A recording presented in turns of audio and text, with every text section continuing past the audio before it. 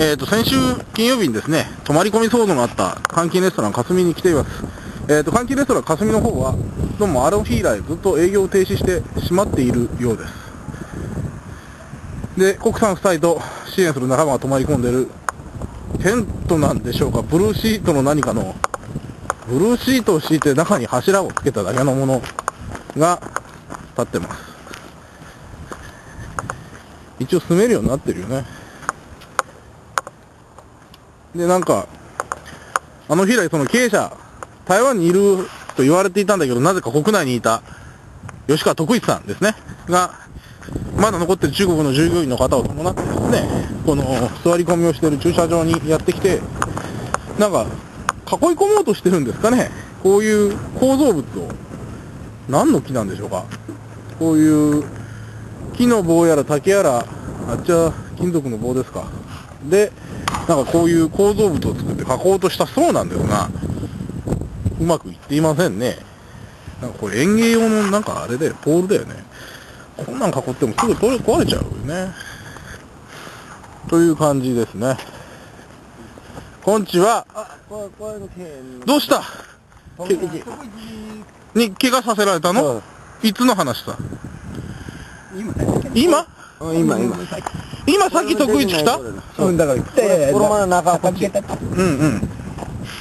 ね、徳一来て、うで、こういう風に怪我することになったね。なんか結構結構痛そうね。本当だ。今？今ね。あ、あれを持ってきてさ。あれ持ってきてね。で、うん。一本目をやっとるから、お俺がこうやって、うん取り取ったんだわ。うんうん昨日のいたちごっこじゃないけど、また戻,、戻そうと思って。うんうん。今、今な、どんくらい前？本当に10分、10 ?1 時30分？徳一来たのか。あ、本当？あれもう一個こっちに。今1時、もうじき2時ぐらいですから、ついさっきの話のそうです。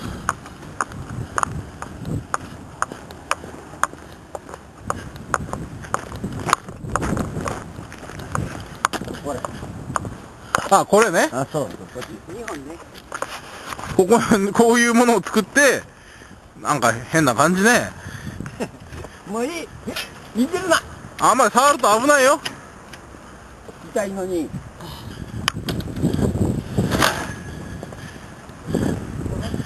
そういうなんか囲い込みのようなことをしようとしているようです。で、レストランかすみの方は営業をしていません。まあ、例のね、泊まり込み騒動以来、ずっと閉まっているということのようです。まあ、空いていてもお客がほとんどいなかったようなので、あんまり変わらないのかもしれませんけどね。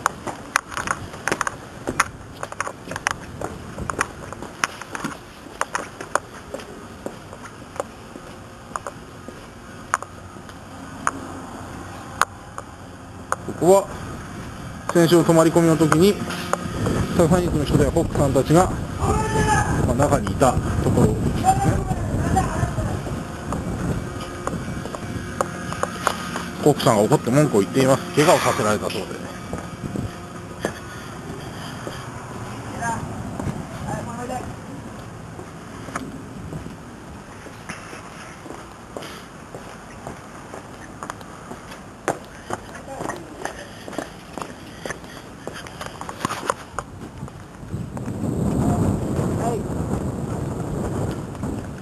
なんだそれ。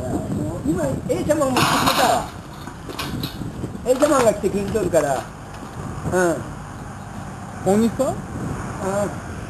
来る？みんな待っとくわ。はいはい。佐々木さん。あ佐々木さんね今からやってこい経営者はこういう単管ですよねを用意して何か土地を囲い込もうとしてみんなが。それでごめんね、何が話す、話してない。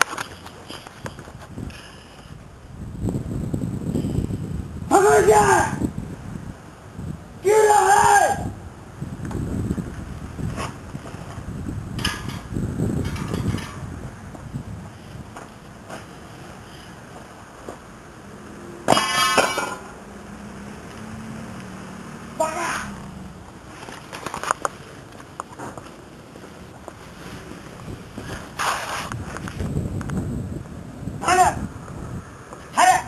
何をやってんの帰れってお客さんに？業、業者なんじゃない？業者だよ。匠の。霞の人じゃないよ。匠の子、あ、わかりましょう。あ何の荷物あれあります荷物、匠あります匠のあ、これ匠の、匠のえ、ですか名前で電話番号ありますうん。わかんないわかんない。え電話ないうん。切ってとるんじゃん。うん？な、なになになになになにお金払うかすみさんに。あ、かすみさん宛てに？うん。いいなぁ。台湾から来てるんね。台湾から。文化。ええ、関係ないよ、まあ、自分たちが買い受け取るわけにもいかないから、特別あります。あのね、お家あっちなんですよ、あっち側。こっちもあります向こう側、あの、あっちの建物、こっちはレストランだから、あっち側から回った方がいい。まあ、いないかもしれないけど。わかるよ。うんうん。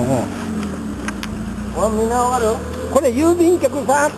わかります。あれは郵便局ね。私のわかります毎日これ。こっち側のセッターで、こっち側のセッター。郵便で行ったか。